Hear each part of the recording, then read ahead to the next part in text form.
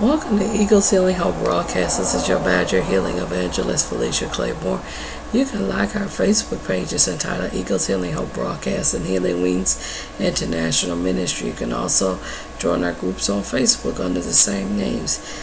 This is brought to you by the partners, prayer warriors, and supporters of Healing Wings International Ministry. We will talk about Tammuz. Let's pray. Heavenly Father, we thank you. And we give you praise because you've been so good to us. We ask you to open up our ears to hear and our spirit to receive the word of God.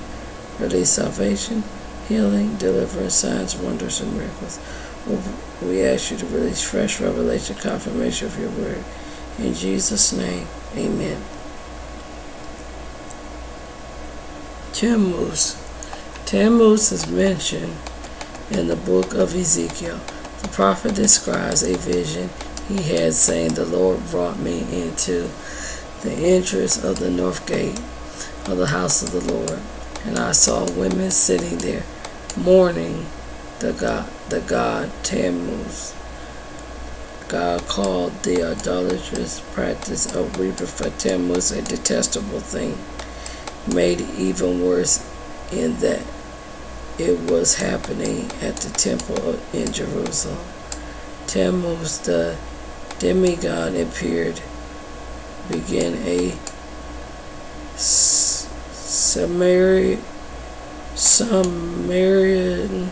shepherd named Dumana, Dum Urid or Dumani. His father was the ancient Mesopotamian god Urkai, also known as the Akkadian Babylonian Ea, who served, saved the family of Utamazimram, Noah, from the flood of the in the epic of Gal Gershnish and his mother was the sheep of goddess Ditur in the early Sumerian Sumerian culture. Donorid Tammuz was the god of the sheep, lambs, and sheep's milk, a pastoral deity. That don't mean nothing about pastoralship, okay? In the later Akkadian mythos, he was the god of agriculture. Tammuz was known as the god, as the good and young one, and his beauty caught the attention of Iana, known to the arcade Arcadians as Esther, who took from her took him for her cohort. At some point, they had a falling out. The most common story is that Esther traveled to the nether world to take the throne of her sister Ir is Donald Gal for her her Heris Estar was condemned by the um, Amenetkaiki judges of the underworld and sentenced to be killed and her corpse hanged from a nail and hook. When Ayana Estar was dead, sexual relations ceased to the entire universe. Irke or Ea allowed her to be resurrected, but she had to find another soul to put her to take place. She scorned the world looking for someone who has mourn for her death. Eventually, she found her husband, Dumrid, or Tammuz dressed in rich clothing and sitting on her throne. In, re- in retaliation for his lack of devotion, Ishtar sent her demons on Tammuz. He hid in the in his home of his sister Goshahana, but her demons eventually, but the demons eventually caught up with him and drug him into the netherworld. Eventually, Ishtar regretted her extreme measures, and the gods composed by having Tammuz or Demrit and her and his sister alternate in times in underworld. Another version says that Ishtar went to the underworld to rescue Demrit or Tammuz after he was killed by the underworld riders. The story of Iana and Demrit speaks beyond the Sumerian and Akkadian empires to other cultures. In Egypt, Tem- Timurus related to Horus, Horus married to the faithful Isis or Is, was killed by his brother, set on for his throne. Accounts vary, but somehow is Isis or Is brought Horus back to life in the time of to seize Horus before he was killed again. In appreciation for our Isis or Isis devotion, the gods made Horus the leader of the underworld, the now whom ties ebbs and flows, bringing life and death and agriculture with its cycle, numerous and restoration. In Greece, Ishtar and Tammuz seem to have inspired the story of Aphrodite and and, uh, and Adonis. Aphrodite gave the infant Adonis to her sister for son per son to protect the underworld. Person fell for the beauty of the child as well, and her the sister's fault. Zeus finally intervened, declaring Adonis had to stay four months with Person. Four months with Aphrodite and four months wherever, wherever he pleased. Sometimes later, Adonis was killed by a boar, meaning a pig. Zeus honored Aphrodite by mourning for by mourning, allowing him to remain above ground for half a year. Whether we're taking talking about Dimrod, Dimrid, Tammuz, Horus, or Adonis, the theme of death and resurrection runs through the mythology. Because of this and his early identification as a shepherd, Tammuz is in all forms known as the god of fertility and agriculture. During the Sumerian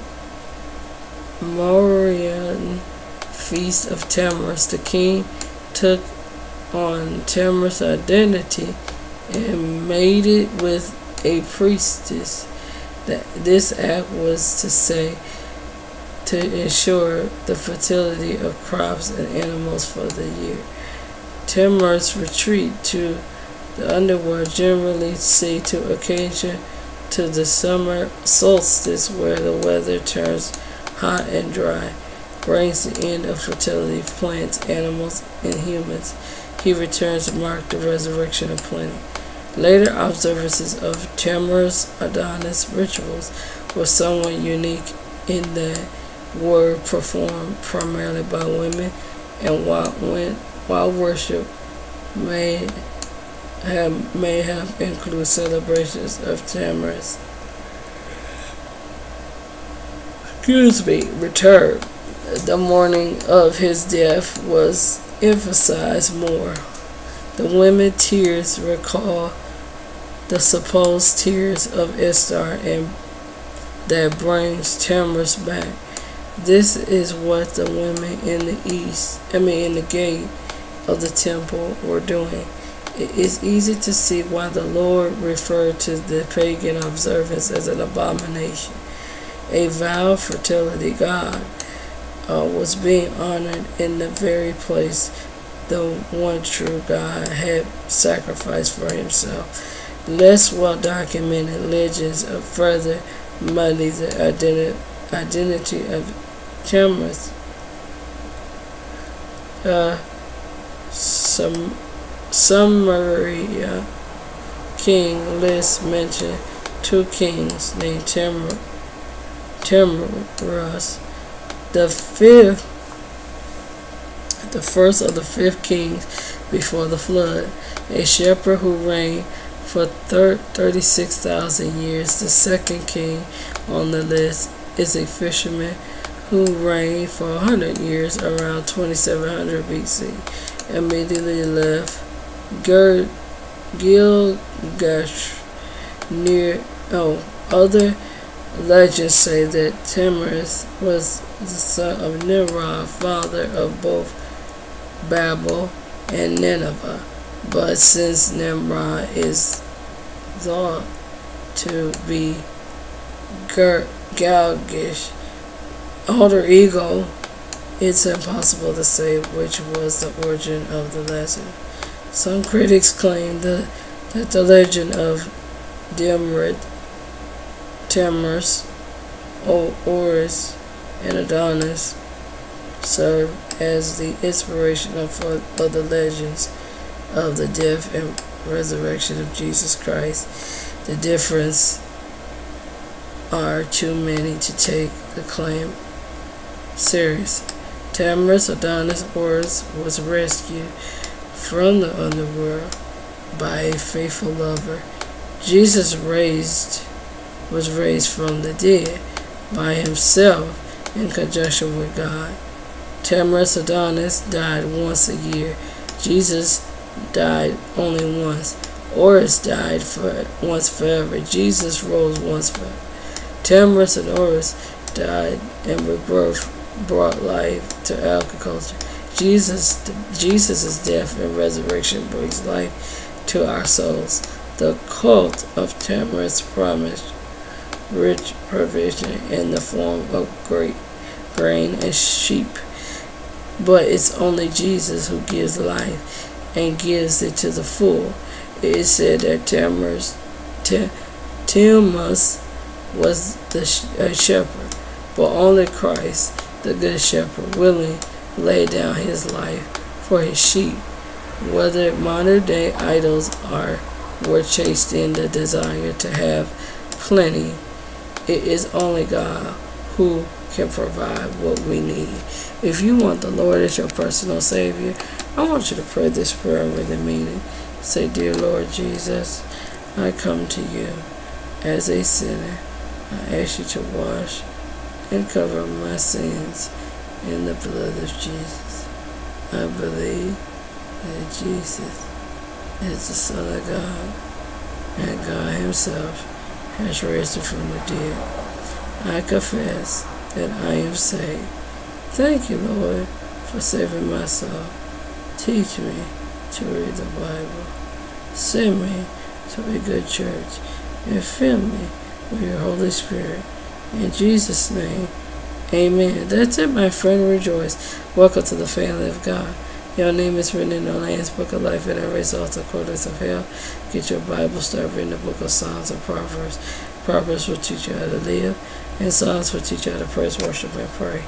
I want us to pray against this, this, this God, and I know that it's representing agriculture and sheep, but Jesus is the main shepherd, and we know that in this time, some people get mixed up. Let's pray. We, Lord, we come to you right now. ask you to forgive us of all sins, creating us a clean heart, renew a right spirit within us. We ask you, Heavenly Father, remove this, remove this, uh, this Tammuz, uh, uh, God away, and God, let us be able to thank you for the agriculture and the sheep because you are the main shepherd. You are the great one. Remove it. We ask you, Lord, help us to understand that you are the one that provides for us, that we will not weep over anybody else, that we will rejoice, weep with those who weep and rejoice with those who rejoice. I praise you, Lord. I thank you for all things. And I'm asking you, God, that you will remove the spirit of Esther away in out of the earth, that we might not have nothing to do with any of that in any other cultures. We know that the story is written. We can't erase the past, but we have to go forward. Help us to adore you and you only. And we ask this in Jesus' name. Amen. You've been, if you have been idolizing those spirits, you need to stop and ask God to give you, to forgive you and give you His Spirit and receive Jesus as your Lord and Savior. Thank you for watching Eagles Healing Hope broadcast. We pray that you have been blessed and encouraged. If you have any prayer requests and praise reports, you can email us at healingwings, ministry at gmail.com. Inbox us on Facebook at Eagles Healing Hope Broadcast or Healing International Ministry pages. You can sow your seed by Cash App at dollar sign Blondie Badger, and that's B L O N D I E B A D G E R. Or you can mail a check or money order Make it payable to Healing Wings International Ministry. Inbox us on Eagles Healing Hope Broadcast or Healing Wings International Ministry Facebook pages to get the address to mail your seed. Your offerings will go to further the kingdom of God. This was brought to you by the partners, prayer warriors, and supporters of Healing Wings International Ministry. Keep hope alive. And remember, there is hope. Be blessed.